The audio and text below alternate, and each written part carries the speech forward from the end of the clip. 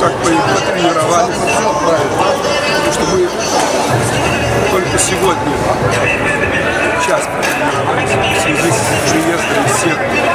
Вчера прилетели, вчера не сбили дороги.